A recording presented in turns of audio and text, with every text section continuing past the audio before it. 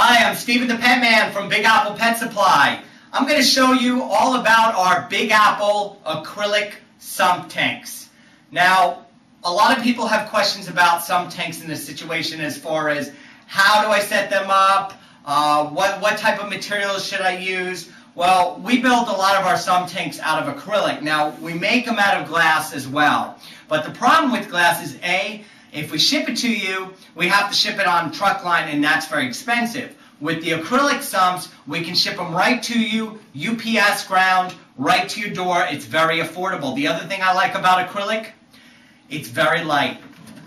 You can just lift up acrylic very easily. This is a 50 gallon, uh, 36, 18, 17 inch, a very popular, popular acrylic sump size for us. Um, again, try doing that with a glass uh, sump. You can't. It weighs like three times the amount. So a couple of things about acrylic that's really neat. A, what we just went over, it's light. B, there's a lot of clarity to it, so you can really see what's going on inside of your sump.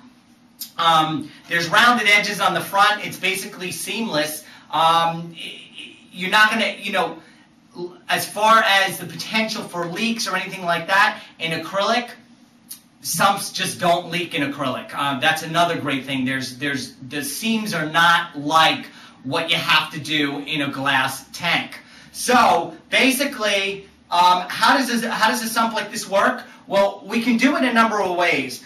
This is our stock model, which if you buy off our website, this is exactly how it's going to come. Uh, the spacers here are about an inch and a half. Uh, you can see the basic flow would be this. You would have your pump here going back up to your enclosure, your, your uh, basic uh, plumbing going down out of your glass tank would be here.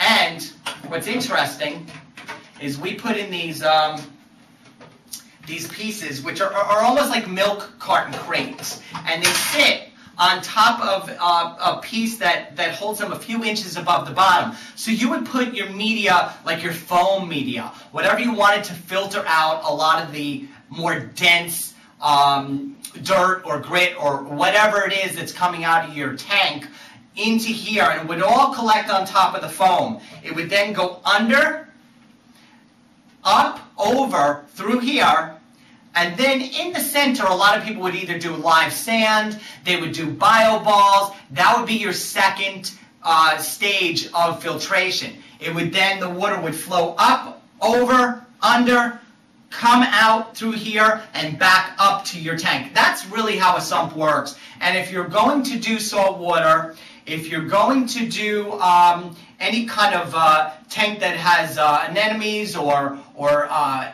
anything like that, a reef tank basically, you're going to want a sump for a reef tank. So that's the way to go. If you're doing salt water, I love having a sump because it adds that much more water to your enclosure. So let's say you have 100 gallon up top and you have 50 gallons in your sump.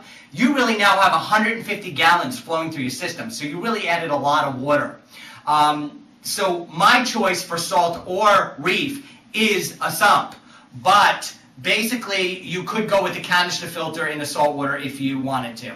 So that is the great thing about um, acrylic. The last thing I want to mention is acrylic is about 20% better insulation than glass. So you're going to find that keeping temperatures in your sump a lot of people will actually put their heaters in their sump when you have a sump instead of putting the heaters in the. You can see it. It's just nicer. You also can add all your chemicals, um, any kind of medications in your sump rather than adding to your fish tank. So again, I really like using a sump. Um, we basically have uh, quite a number of stock sizes on our website at bigapplepetsupply.com.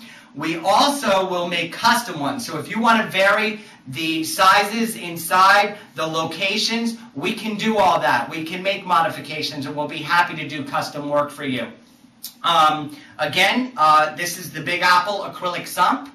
I'm Stephen the Pet Man, and I thank you for watching.